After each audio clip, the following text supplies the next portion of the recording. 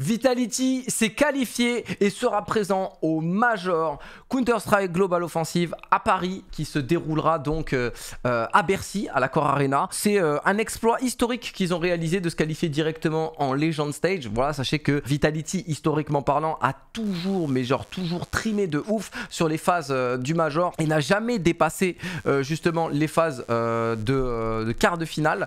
Et donc là, on est directement en Legend Stage. Je vais vous expliquer la différence entre Challenger Stage, Legend Stage et Champion Stage, les amis, parce qu'il y a trois étapes euh, pour le Major. Mais là, ce sera le Major. On a le sticker qui, qui sont euh, octroyés pour Vitality. On va avoir donc une équipe française, euh, ou alors en tout cas avec deux joueurs français et l'organisation qui nous représente bleu, blanc, rouge. Et ça, ça fait plaisir. À Paris, pour le dernier Major de l'histoire de Counter-Strike Global Offensive, je le rappelle, après ce Major-là, on passe sur Counter-Strike 2. J'ai fait une vidéo pour expliquer que CSGO n'existera plus et c'est réel. CSGO n'existera absolument plus. On passera Counter-Strike 2 après ces étapes-là. Sachez-le, euh, été 2023. Donc voici euh, RMRA, RMRB. Donc ça, c'est les qualifications euh, du Major. Voici donc la première poule avec notamment Vitality qui, a, réussi en 3-1, même s'ils se sont fait peur, le match du 2-0 contre Nine qui allait chercher justement sa qualification eux aussi, a tiré un petit peu leur épingle du jeu et en phase de, de decider match, ils ont battu G2 2 0 d'une belle manière et surtout derrière monté. Donc voici le parcours de Vitality pour le Major. Voilà, on tape Astralis, on tape NIP. Après, on s'est fait vraiment, euh, on s'est fait vraiment un petit peu dominer contre Nine. Ils ont largement mérité leur victoire, les Polonais. Euh, derrière, ben, on tabasse Big, on tabasse Z2 et on tabasse Monté. Et on est allé chercher justement chercher cette dernière qualification possible pour accéder au Legend Stage. La différence entre le Challenger Stage et le Legend Stage, c'est une étape en plus, euh, une étape supplémentaire pour la qualification au playoff du Major, mais également économiquement parlant. Il y a un support de Valve pour euh, l'obtention des stickers pour les équipes qui sont dans une capsule Challenger Stage ou Legend Stage. Il faut savoir qu'il y a quelques années, c'était 200 000 et 400 000 dollars si tu étais en Challenger ou en Legend Stage qui va justement dans les poches du club. Donc pour, les, pour euh, Vitality, c'est historique d'avoir un support financier aussi élevé. Deuxième chose, quand on est en capsule sticker et notamment pour les signatures, il faut savoir qu'il y a 50% des revenus qui reviennent euh, aux joueurs. Donc quand, nous, vous, tout le monde allons acheter des stickers signatures des joueurs de Ziwoo, d'Apex, de Dupré, de Madisk, etc. La capsule vaut, euh, je sais pas moi, 79, 89 centimes, je crois, un truc comme ça. 50% va directement aux joueurs. Euh, on avait des révélations sur le Major en Verse, en Belgique, qui a eu lieu en 2022 avec euh, le sacre de FaZe, et c'était un Major absolument, genre, magnifique à regarder, compétitivement parlant. C'était une finale, genre, d'anthologie. Et FaZe avait révélé qu'ils avaient touché plus d'un million de dollars de signatures, juste de signatures. Donc, c'est beaucoup, beaucoup, beaucoup, beaucoup d'argent. Et quand on est en Legend Stage, pourquoi euh, ça coûte, euh, ça revient plus, à plus d'argent pour les joueurs qu'en Challenger Stage? Ben, En Legend Stage, il y a les plus grosses équipes parce que c'est celles qui font les meilleurs résultats. Et à l'heure actuelle, euh, par exemple, en Legend Stage, il va y avoir du Navi, il va y avoir du Furia, il va y avoir du Heroic, du Vitality. Donc c'est des équipes extrêmement populaires. Furia, les Brésiliens, vous connaissez l'engouement. Navi, il y a Simple, donc vous savez très bien que les gens voudront acheter ces capsules-là en priorité par rapport aux autres. Et donc forcément, plus de ventes de capsules, plus de revenus partagés. Comprenez ça. Et pour le Challenger Stage, il va y avoir du monde euh, également. Passons au groupe, euh, euh, au groupe B, enfin au groupe A, pardon, parce que là on parlait du groupe B, avec justement l'échec et l'élimination de Falcon qui ne réussira pas à accéder au Major. C'est fini. eux, ils n'y seront pas du tout, hein. ni en Challenger Stage, ni en Legend Stage. Navi qui a battu tout le monde voilà, en 3-0 alors qu'on les qui semble fragile, toujours aussi efficace. Navi, et regardez le parcours un petit peu de Falcon. On n'aura pas le droit à du Kenyans, à du NBK, du Body sur, sur le sol français j'aimerais, j'espère, euh, je souhaite que Kenny S, NBK Body fassent partie quand même de, cette belle histoire de Counter-Strike Global Offensive pour clôturer un petit peu les, les 11 ans de compétition de CS et notamment là sur le sol français avec très certainement des partenariats avec des marques et ce genre de choses pour être sur place à Bercy et notamment bah, communier avec les fans, des rencontres, des séances de dédicaces, des animations sur des stands avec des petits 1v1, des petits 2v2 IMA pour rencontrer des gens et ce genre de trucs. Moi, c'est euh, ma profonde de conviction. Je serai bien évidemment sur place, je vous rencontrerai, je tournerai un vlog, euh, je ferai des watch parties moi du Challenger Stage, du Legend Stage sur ma chaîne Twitch.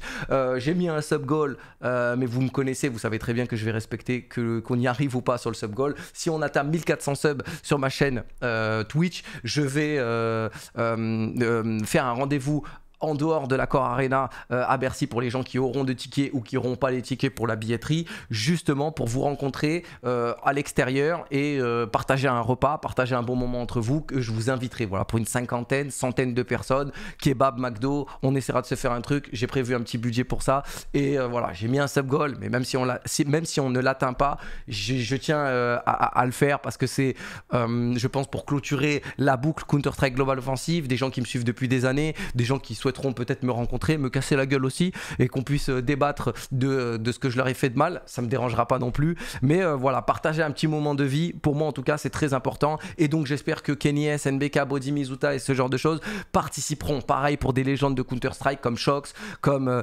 euh, comme Smith et ce genre de choses. J'espère vraiment qu'il y aura tous les Français sur place pour, pour communier avec les fans. Ça, c'est pour mon plus grand plaisir. Historiquement aussi, on a le plus, un des plus grands échecs de l'histoire avec euh, Virtus Pro, qui ne s'est pas qualifié, qui est le champion en titre, qui a gagné le dernier major et donc qui, a perdu. Le, euh, le, dernier ticket qui a été arraché, c'était FaZe, qui avait glissé justement pendant cette période de RMR et qui, ont battu absolument tout le monde derrière. Et euh, ils sont allés chercher leur ticket en battant Cloud9, en battant Aurora. Ils se sont fait vraiment taper par beaucoup d'équipes et ce genre de choses. FaZe, ils étaient en 2 à 0 et leur match du, du Legend Stage, bah, ils l'ont perdu contre Navi. Après, ils se sont fait surprendre par Bad News Eagle et ils ont perdu de manière très serrée face à Mouse. Et donc, euh, on aura du phase euh, au major. Différence entre le Challenger Stage, Legend Stage, Champion Stage.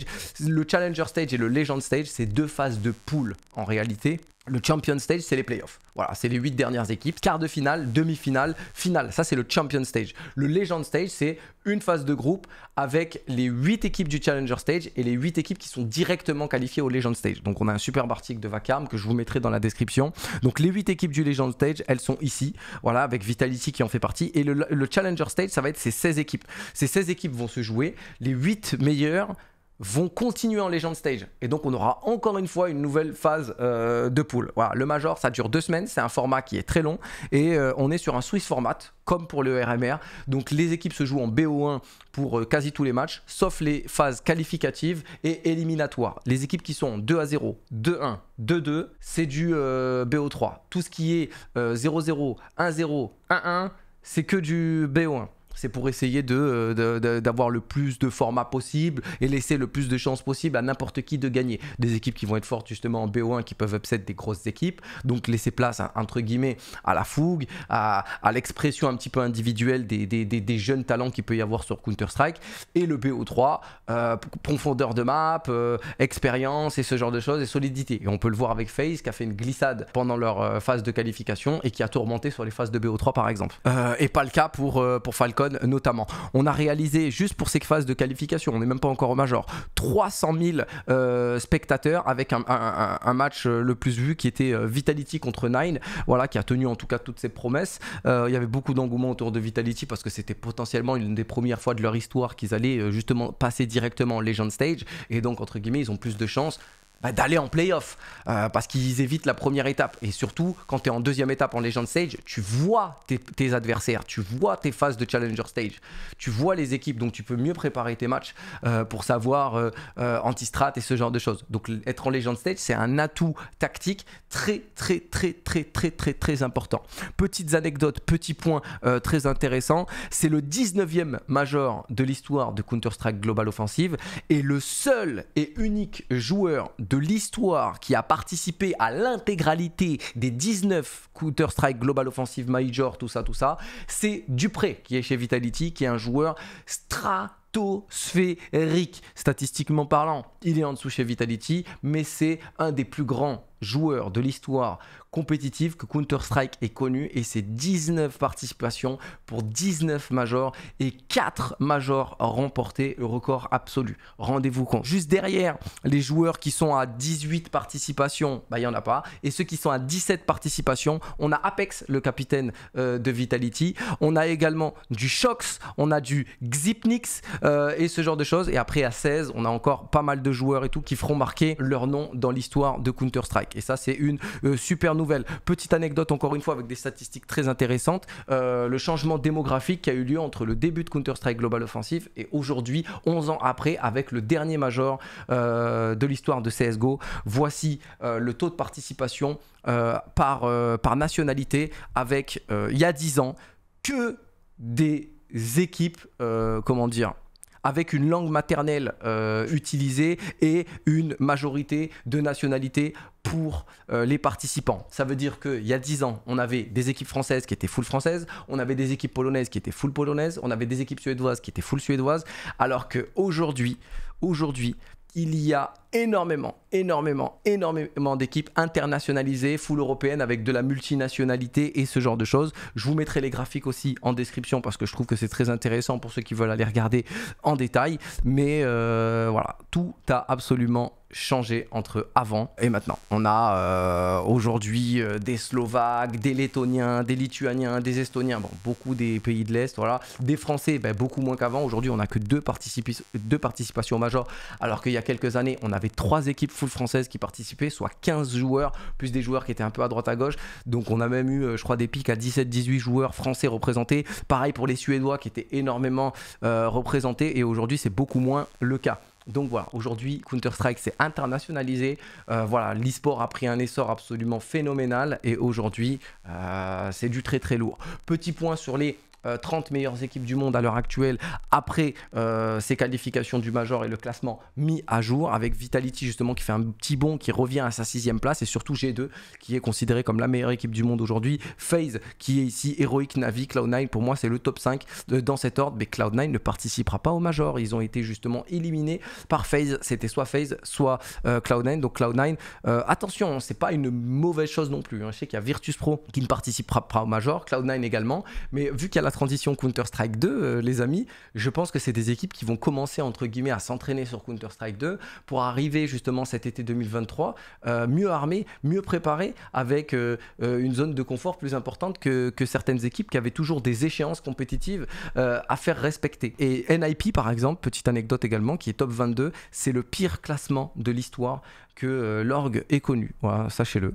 euh, les frérots. Et je trouve que c'est absolument pas mérité. Hein. Voilà, le classement HLTV, autant il est assez juste et ce genre de truc, mais euh, pour moi, ils sont clairement pas top 22, faut pas déconner. C'est du foutage de gueule. Moi, je vous le dis, pour, pour moi en tout cas, c'est du foutage de gueule.